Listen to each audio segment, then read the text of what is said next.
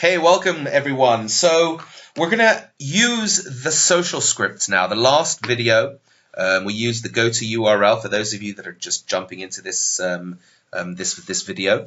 Um, we used very basic um, iMacro. Just went to a URL. We went to Google. We went to sorry, we went to Gmail, and then we went to Facebook to see if we were logged in. We know we're logged in, so now we're going to go and we're going to automate some things in Facebook. First, I'm going to go and join some groups. I have some keywords here that I got that I uh, prepared earlier on. And I'm just going to click check all and one. And when I do one and click apply, it's just going to take one keyword. Not that one, it's going to do that one. One, one, two, three, four, five, six, seven, eight, nine. And it's going to pick one keyword for each project. If I do two, it'll, and so on and so forth, the same. It'll pick three keywords for each project. Um, so it's kind of like a loop. It's kind of like, uh, so if you did two here, it would go ahead and pick two keywords, four, and so on and so forth, five, so on and so forth, five keywords, and it's telling you which keywords each project is picking, so that each project is picking a separate group of keywords, and you're using five keywords for each one. So it's going to loop, it's going to pick those five keywords. If you want to then loop those, you can then come in here and actually um, use these settings that we discussed earlier on, and that will may allow you to use these group of keywords, so one to five, um, between one and let's say two times or one and five times. So you would have in essence um, using these five keywords between one and five times. So you'd be looping but we're not going to do that now. Um, we're just going to use it once. Click one, and we have one, two, three, four, five, six, seven, eight, nine. Okay, so now we're going to go and click run, and it's going to pick one keyword for each one, and it's going to go and join a Facebook group. Uh, I forgot to unset the home page. I'll do that in the next automation. Um, but as you can see, this is what we're going to be working on the next update. Very um, simple functionality just to be able to control where um, what the home page is going to be before we run these Browsio IA scripts. So we can tick run via homepage, run not, change homepage. So you can on the fly decide, you know, which different sites can come from different URLs as well. That that could also work really well. Um, so as you can see, it's logged. It's gone into Facebook. We're logged in, and we're joining groups. It's going to join one group for each one, and that's it. As you can see, request sent up here, and then this one down here. As you can see, request sent, and this one it hasn't done it yet. Let's open this up and watch it do the automation on a large scale. Just opens it up minimized. I just want to open it up so you can see the actual automation happening here. So we're now in Facebook and we're going to go and join that first group and click join, request sent and we're good. And I believe that should be it. Yeah, that's it. Okay. So they've all done that. They've all gone and picked an individual keyword. See bodybuilding motivation up here. This one was motivation. Build muscle, bodybuilding pills, motivation, supplements. Sorry, that's the one we looked at. Supplements and muscle building. So each one went out and clicked on a totally separate keyword. So let's now do the same thing here for pages. So we're going to go out and we're going to like random pages by keyword and run.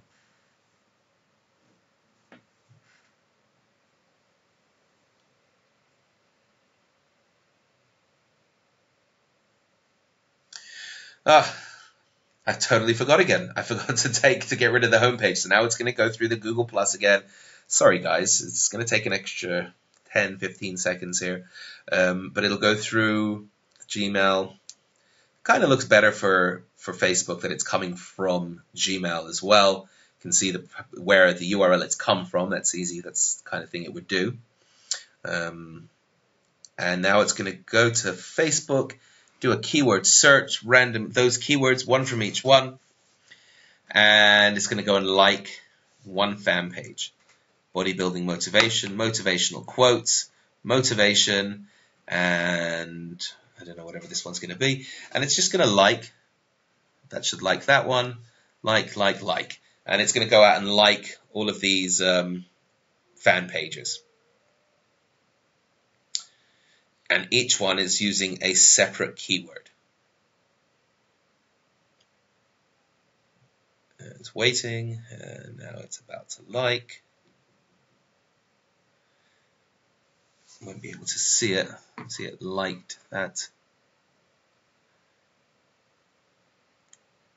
Liked, see? There you go, liked. And that's it, and we're done. And if it's if it senses something that's already liked, it's just going to go past it and go to the next one um, that it hasn't liked. Um, and that's it. So that's how those scripts work. Um, the other part of the automation, instead of using keywords, is going to be URLs.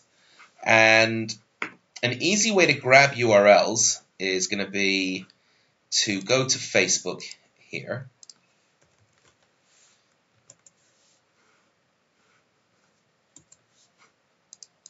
Just want to go to Facebook, and we want to just grab a whole bunch of um, URLs within Facebook. So this is going to be like posts by URL that I want to do the demo of. And this is pretty this is pretty cool. What this will do is this, this will you can put in groups that you're already a member of um, or just fan pages. So bodybuilding. I'm just going to open up this data source here just because I want to just drag over um, a whole bunch of URLs. So bodybuilding. And okay cool. So I'm actually part of that group so I can join that. That's joined. It says I'm joined. And I haven't joined that one yet but this is a fan page. Let's go to pages. Let's see more pages. I just want to grab a whole bunch of URLs it's a new profile. I, I don't know how many groups I'm a member of but i am going to go and find out in just a second everything that I've done here on this profile is totally automated. I've never actually done any real engagement here. This profile here is totally automated. So I'm going to go and see in just a moment. I'm just, and all I'm doing, all I did by the way, is I'm just literally dragging and dropping these URLs. Um, just grabbing a whole bunch of URLs I want to engage on.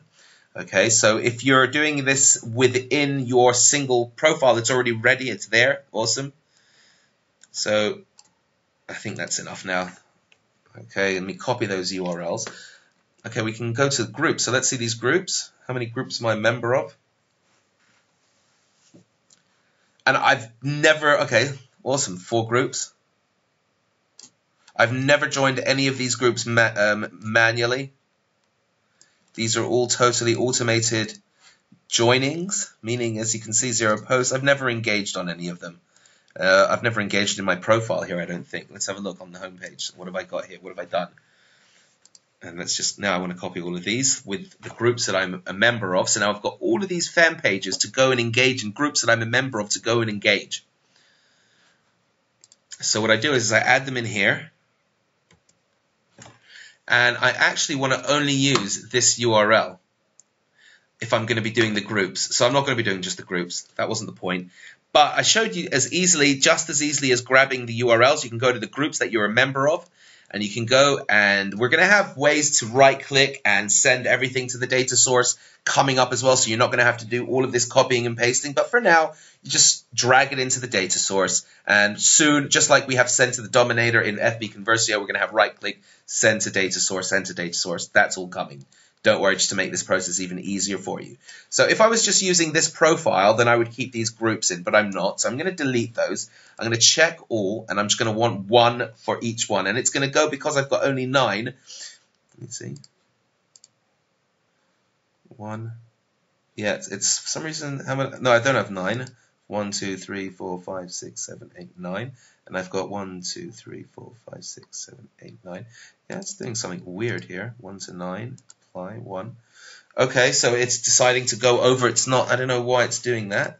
Ah, look at that. It's a little bug I found there. It's got all these, all this extra space that it's not sure what to do with. I think that's what it was. Use all lines. Uh, nope, that wasn't it. Anyway, we'll work it out. It's not the biggest of deal. Tiny little bugs.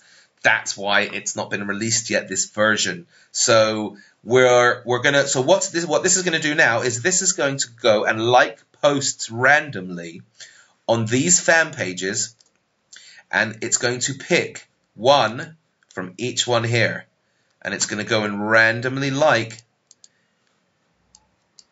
these posts on this fan on these fan pages. So we're going to run It's going to, you know, let me just close them down. Just show you can you can do that. It's very easy. You can just right click, close it all down. Doesn't affect anything. Save. So now we don't have a home page, and we're just going to go straight into the Facebook. Straight to Facebook.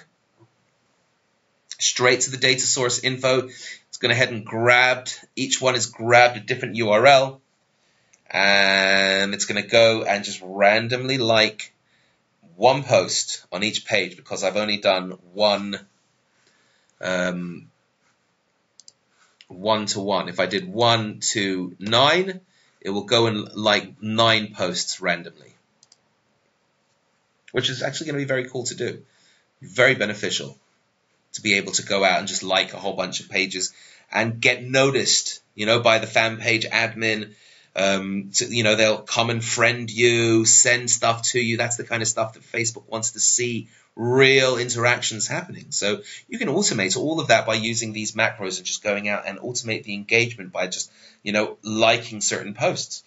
Um, so if you're obviously not on like a page that's got 10 million likes, you know, fan pages, they're gonna they'll engage with you. Um, if if it, if it's a bit of a smaller fan page, so that's it. It's done it. It's gone out and it's liked as you can see, it's liked that one. That's the one it's liked. This one is done as well. That's the one it's liked. See, these are all different fan pages. That's the one it's liked there. And we've only asked it to like one. That's it. Okay, so that's it. This is this this engagement is now you don't have to deal with this kind of engagement manually, especially with your tiers, with your uh, with your tier ones, tier twos, tier threes any of whatever tiers, just no more manually having to go and engage, which you're not doing anyway. Um, because it's just not really possible to go and spend time to do that manually with um, tier ones and tier two. So we don't bother um, building up the authority of these profiles. We just build them and post to the profiles. And that's not the point of Browsio. That's not the point of Facebook profiles. The point of it is to go and build the authority and to actually engage and to use them. So we've done that with Facebook. We know that we're logged into Google. So let's do some demoing around here with Google. And actually, I think this video has probably gone on way too long. We're at 12 minutes already, which is very, very, very long for training. Um, but we're going to call this the Facebook demo, and then I'm going to end the video here, and the next one's going to be um, the Google Plus demo. And I'm just going to do the similar similar stuff, um, but with Google Plus. And, um, and that should set you up for pretty much everything within Browsio IA. The other video that I'm going to make separately is going to be if this then that. So I'm going to show you exactly how to use all of the if this then that scripts. And we're going to get to that in one of the um, one of the coming videos. The next one will be Google Plus, and then I'm going to go into if this then that. And then we'll have everything covered here so that you guys um, have got all the information that you need to just go out and, and, and automate your social media, automate your life. Um, so I'll see you in the next video.